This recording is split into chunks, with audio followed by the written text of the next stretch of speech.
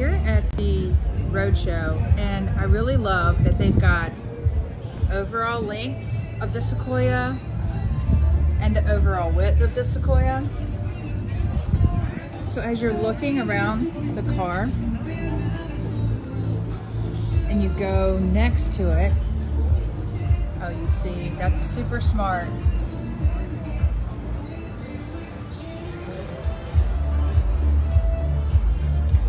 Wheelbase info, and overall height. Same verbiage on the Grand Highlander. We've got towing capacity, overall length,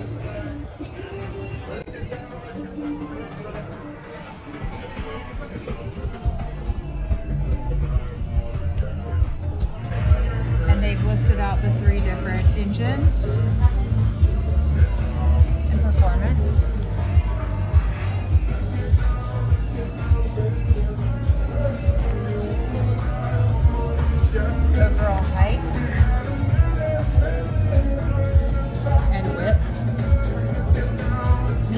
super easy to compare a Grand Highlander and a Sequoia and those features are called out like that.